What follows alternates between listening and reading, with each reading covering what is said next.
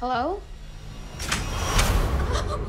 What's your favorite scary movie? Ghostface is back and scary as ever. Now's the time to make a new Scream. Because we had a special story to tell that connects the legacy cast members with a new cast into the world of Woodsboro. My character, Sam, becomes the target of the Ghostface killer. Who is this? Someone who knows your little secret.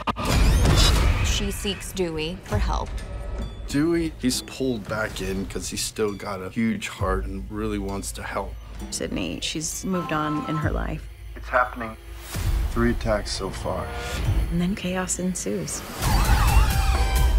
It's just the perfect mix of new energy and also keeping in what made it so special in the first place. I don't think it's exactly what people are expecting. There's things that happen in this that are kind of shocking. I still can't believe it. I've been through this a lot. Whoever this is is going to keep coming for you. So? So I want you to help us kill him.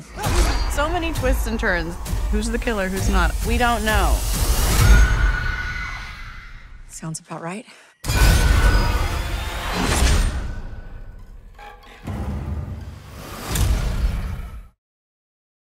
Hey, thanks for watching Staying with Horror for the movie The Omen. Damien originally had a different name. Screenwriter David Seltzer planned to name his Antichrist Donlan after the total obnoxious brat of a child of a friend, until his wife convinced him that it would be a horrible thing to do to the kid, and not to mention friendship ending.